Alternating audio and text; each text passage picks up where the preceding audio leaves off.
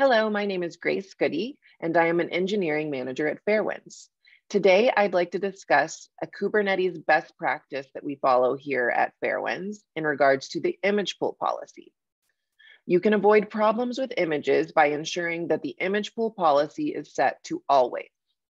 Relying on cached versions of a Docker image can introduce a security vulnerability because Kubernetes will attempt to use the cached version of an image without verifying where it came from.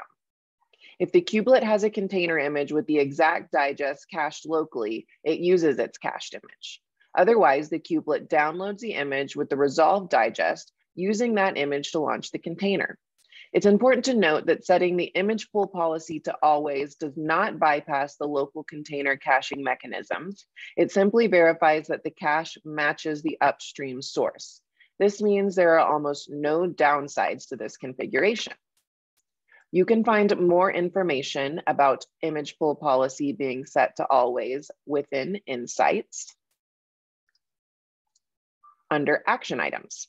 So you'll see you have several action items regarding the image pull policy.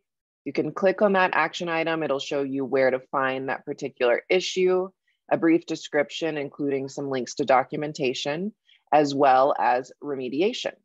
And for image pull policy, we will set that in our pod spec like so. And you can see that I have just added that within the pod spec here, and that will take care of that action item.